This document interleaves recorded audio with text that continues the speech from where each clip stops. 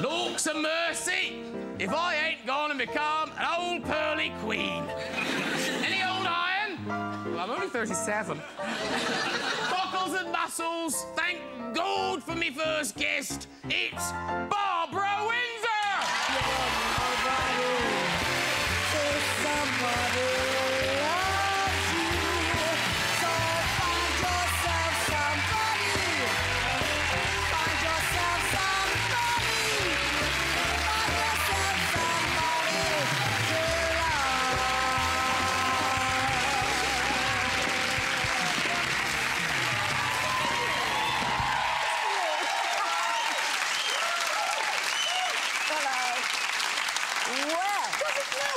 I've only done this for you. It's Barbarella I know- I Windsor! know. Look at you! I'm a silly tart, aren't I? I No, thought, oh, if I'm fantastic. going on Grey Show, I've got to do something different. It's but gorgeous. Listen, if you promise to cut it out the show, Oh, yeah. I'll tell you where I had it off in the open. Oh, yes.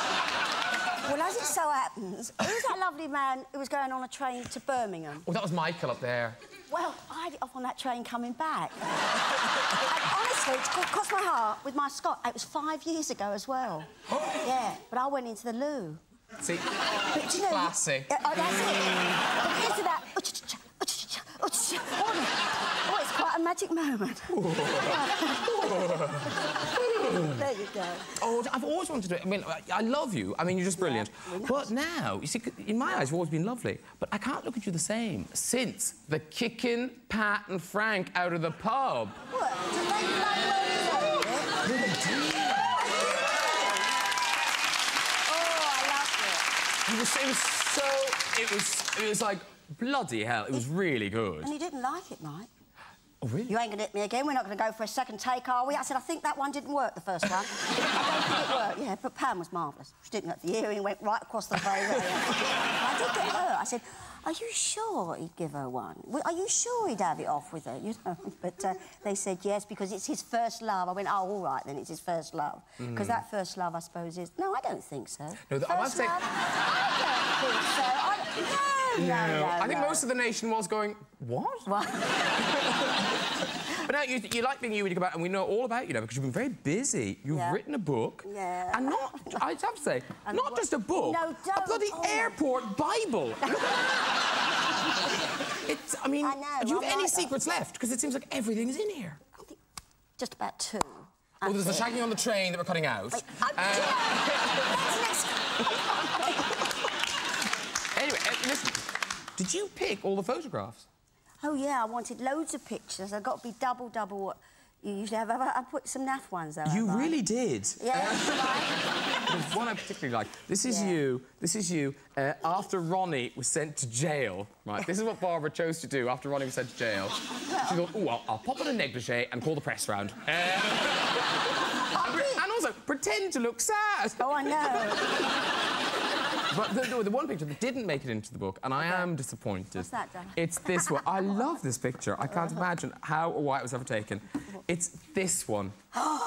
that is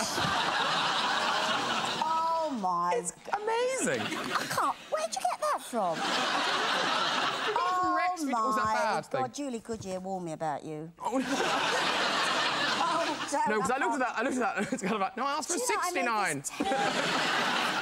Oh, that's awful, Oh, darling. I'm so, ashamed. uh, no, you shouldn't be ashamed. Oh, no, you shouldn't be ashamed. You look fantastic. They look so naff. But you've got your nips out in there in the book. Well, yeah, oh yes, I do. Well, I don't remember half the bloody time, honestly. I really don't. Oh, No, great. no, I like. It. Well, I'll put it. I'll put it away. We can rip it. Do we want to rip it up? No, no, oh, Oh, no. keep it there. No, no. Oh. well, I tell you why. No, it's good for me to see that because you see, I've still got those. See that? I've always had those little. This is this little bits here underneath the minge type thing. There. Oh yeah.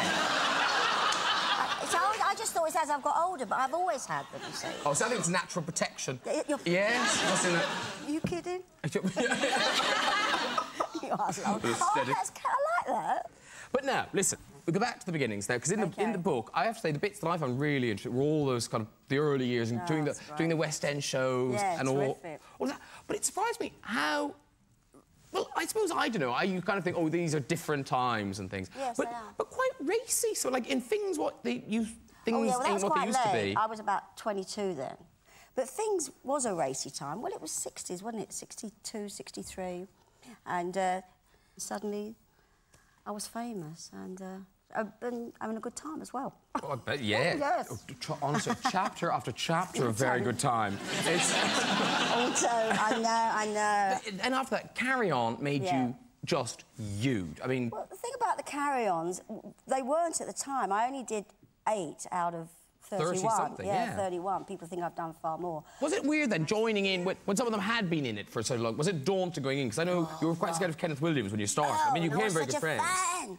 Was such a fan of his. God, he was amazing, and I, I couldn't believe it. And when I arrived on the first day, um, I knew uh, Cribbins very well, Bernie Cribbins. I just finished a film with him, and I said, "What are they like?" I'm so scared because they've been going for years. And he said, "You have to watch Kenny. He doesn't like newcomers." I thought, oh shit, okay. Anyway, my very first scene was with him, and it was Carry On Spying. I don't know if you've seen it. It was a send up of 007, and he had this long beard, this very long black beard, like a spy. And I'd heard along the grapevine he didn't like the wonderful Fenella Fielding. She is fantastic, see.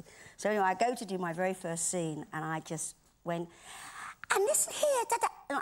And, and you know, all the time went running, and. Uh, and he went, oh, Ducky, do get it right, please, you see. So I pulled myself up to my four foot ten and a half and I said, don't you ever go at me with Fenella Fielding's minge air around your chops. so,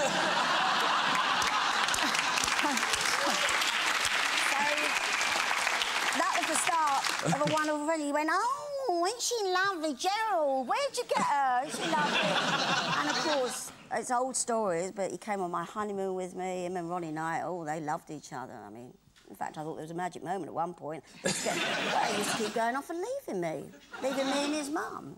But anyway, it was lovely, and I That's missed him. so weird, though, to bring Kenneth Well- Williams on your honeymoon. Well, actually, darling, it's actually.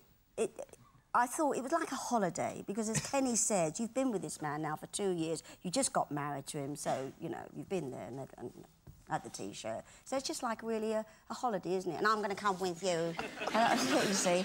But we we didn't talk for the whole the whole honeymoon actually because he was so rude to people.